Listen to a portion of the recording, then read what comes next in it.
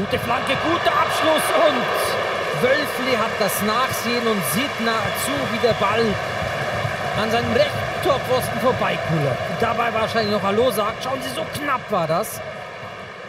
Alex Frei mit dem Abschluss nach knapp 17 Minuten.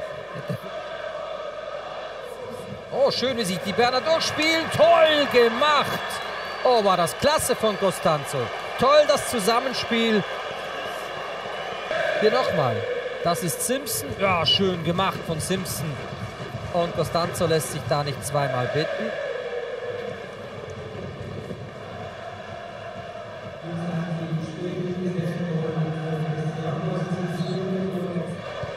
Shakiri, Tor.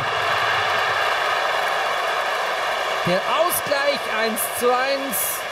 Sherdan Shakiri.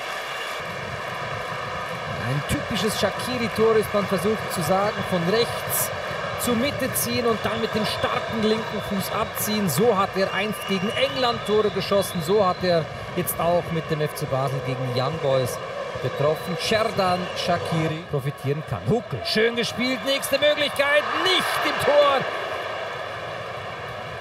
Verliert den Ball. Stanzo, Witkiewi würde spurten, wird angespielt. Witkiewi, Möglichkeit für Witkiewi und er trifft nur den Pfosten. Martinez, dann Witkiewi, wie gesagt, mit vielen Freiheiten ausgestattet. Oh, und dann gibt es wahrscheinlich die gelbe Karte und nicht Elfmeter, denn das Abheben von äh, Martinez war doch ziemlich offensichtlich. Zweikampf Sommer keine Berührung. Nein. War gesucht, die ganze Geschichte. Klar berührt die Hand den Fuß, aber da müssen wir aufhören. Nee, nie Elfmeter. 80. Minute die Chance für die Young Boys in Führung zu gehen. Costanzo gegen Sommer. Und Costanzo scheitert, aber sein Clubkamerad Witkiewe tut es nicht. 2 zu 1 für die Young Boys.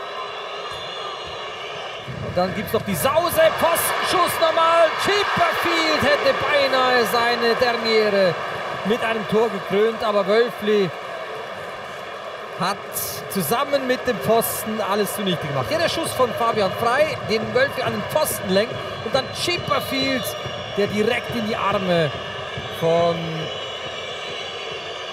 Wölfli schießt.